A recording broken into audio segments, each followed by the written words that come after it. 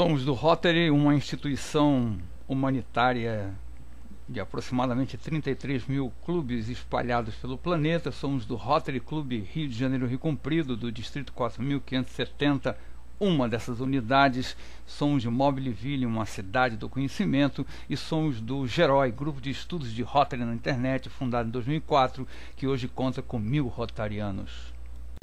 Na verdade, o Dia da Mulher é todo dia, mas não custa nada deixar uma data especial no calendário para isso.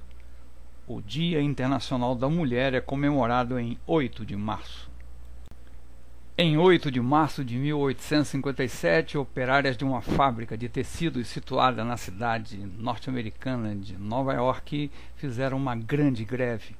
Ocuparam a fábrica e começaram a reivindicar melhores condições de trabalho. A manifestação foi reprimida com total violência.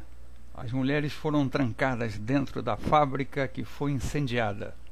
Aproximadamente 130 tecelãs morreram carbonizadas num ato totalmente desumano.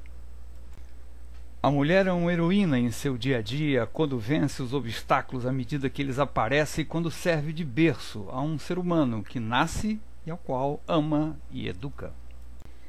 Com certeza a mulher é um ser diferenciado, a mulher que quando quer grita, que canta quando quer chorar, que chora quando está feliz e ri quando está nervosa e que briga por aquilo que acredita e que não aceita um não quando percebe que existe uma solução melhor.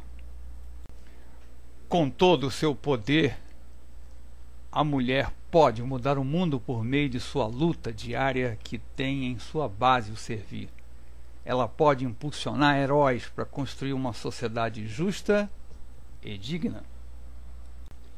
Por fim, no Brasil, podemos dizer que o dia 24 de fevereiro de 1932 foi um marco na história das brasileiras que conquistaram, depois de muitos anos de reivindicações e discussões, o direito de votar e ser eleitas para cargos no executivo e legislativo.